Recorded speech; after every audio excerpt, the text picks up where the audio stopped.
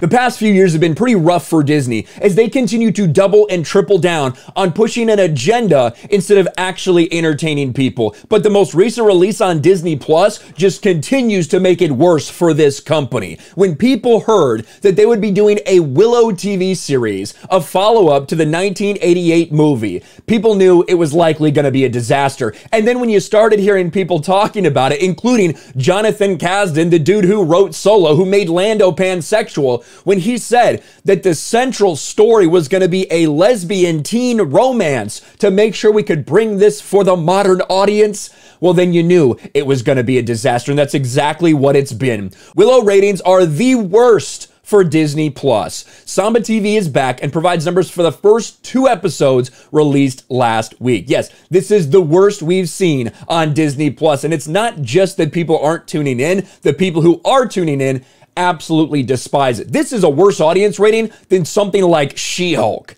That's how bad the fan reaction has been to Willow. But let's take a look at this. Willow isn't a big hit with fans, and it isn't a hit on Disney Plus, as its ratings are the worst for a show on the streaming service, at least any that we've seen any numbers for. Samba TV took a bit of a sabbatical for some reason, followed the release of Rings of Power. Yeah, very suspicious how that all worked out, isn't it? But now they're back and providing numbers for Willow. According to Samba TV, only 481,000 households watch Willow in its first five days of release, and that's with two episodes releasing at the same time. Here is that graphic from Samba TV. Since Samba TV's been releasing numbers, Willow marks the lowest rating for a show on Disney Plus, much lower than Miss Mar or than Marvel's Miss Marvel series, which saw only 775,000 households tune in, and lower than She-Hulk's 1.5 million households in those first 4 days. Willow is from Disney's Lucasfilm, where it can't even compare to The Mandalorian, Obi-Wan, or even Book of Boba Fett.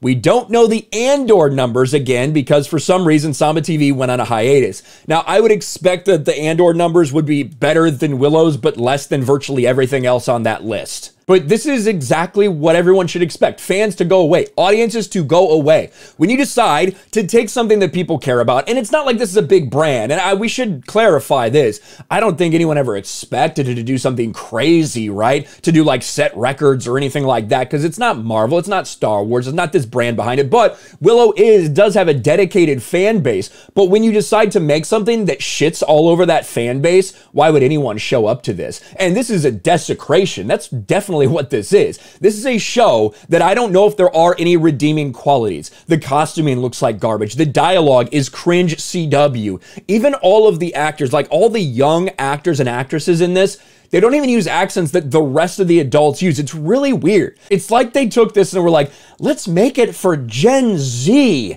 and make all these people relatable to TikTokers. It's really weird. And this is not the way to captivate an audience. This is not a way to grow an IP, to grow a brand, to get people to watch. We've seen it time after time after time. There's a reason that CW never made money in its entire history because that's the demographic that they targeted and it failed completely and utterly. And that's basically what Willow is. It's chock full of identity politics. Uh, they do their best to take these characters that you did care about and try to bring them down and to promote all these other hero characters. Oh, yes, we need our princess and our lady knight to have a lesbian relationship to go off and save the prince who's absolutely useless. And every other dude in the show is basically a piece of shit too.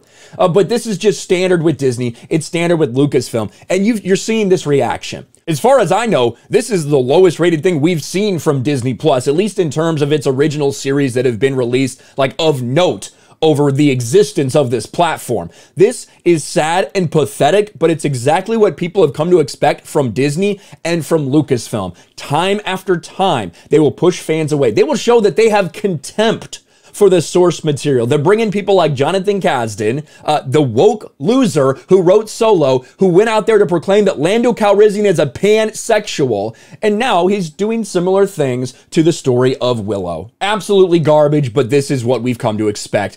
Let me know your thoughts about all this in the comment section below. Smash a like button, subscribe to the channel, ring the bell for notifications, share this video out there, and I'll talk to you later. Thanks for watching, everyone. And a huge shout out to my patrons. I appreciate you guys so much. Want to follow me on Twitter or Instagram? Check out the description below. You'll find links to my P.O. Box and my Patreon as well. And I'll talk to you guys later.